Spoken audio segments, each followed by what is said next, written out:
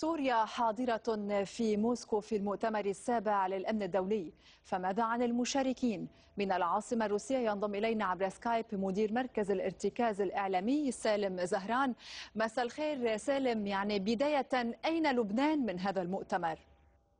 مساء الخير نيكول بصراحة لبنان غاب وزير الدفاع وحضر اللواء سمير الحاج على رأس وفد عسكري الحضور اللبناني متواضع مقارنة بباقي الدول خاصة وجود الصين روسيا إيران أفغانستان باكستان والعديد من الدول العسكرية الكبرى.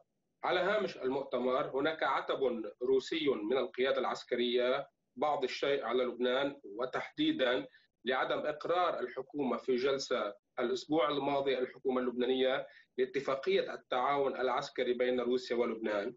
وأكثر ما دفع الروس إلى الامتعاض هو قول الحكومة اللبنانية بأن هذه الاتفاقية تؤثر على مؤتمر روما. بالوقت الذي كان بوغدانوف ممثل الرئيس بوتين موجود والتقى دولة الرئيس سعد الحريري وقال الرئيس سعد الحريري علنية بأنه كان لقاء مثمرا وجيدا.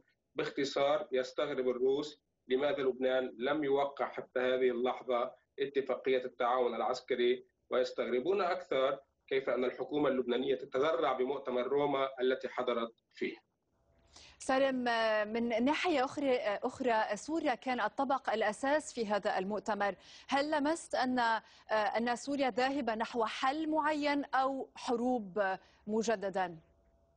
من مجمل النقاشات أبرز ما قاله وزير الدفاع الروسي تشويغو حين وصف داعش كما لو أنه على شفير الانهيار والاندثار. هذا ما تطابق مع كلام نائب وزير الدفاع السوري العماد الشواء الذي حدد بأن داعش يسيطر فقط على 4% من الأراضي السورية أي 7000 كيلومتر مربع وفي مناطق معزولة ومطوقة بالكامل.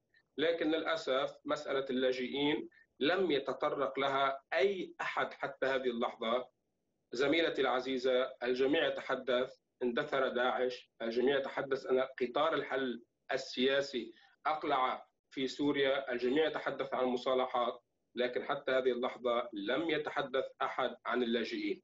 لذلك نصيحة المراقب المنتمي إلى لبنان يبدو أن الحل الذي بدأ به اللواء عباس إبراهيم والذي كانت آخر دفعة منه ألف نازح سوري عاد إلى سوريا هو الحل الصحيح. باختصار علينا أن لا ننتظر من أحد أو نتوقع من أحد أن يحل مشكلة اللاجئين السوريين. علينا نحن أن نعمل على ذلك. الإعلامي سالم زهران شكرا لك على هذه الرسالة من موسكو. عودة لعندك بسام.